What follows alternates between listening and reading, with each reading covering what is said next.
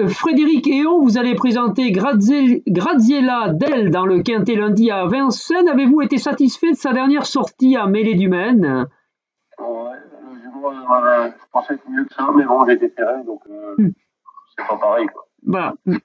Et, la fois d'avant à Vincennes, où elle était en configuration course? Euh, La fois d'avant, elle a trouvé une première. Euh, voilà, ça s'est mal passé. Hmm. La course, elle s'est représentée pour elle. Sinon, euh, elle courait super bien. D'accord. Il faut un bon déroulement de course, quoi? Bah ouais, faut pas faire trop les extérieurs quand même. Hein. Hmm. D'accord. En tout cas, de 2100 autostart, hein, c'est un parcours qui lui, du coup, qui lui correspond bien. Ouais, voilà, gagné deux fois 2100. Bon, c'est une jument qui peut faire toutes les distances. À, condition d'être, euh, d'avoir un parcours économique, quoi. Hmm. Bah, ouais, bien sûr, ouais. Hmm. Et du coup, dans ce quintet de femelles, qu'est-ce que vous pouvez en attendre alors si ça se passe bien? On va espérer être dans les cinq premiers, quoi.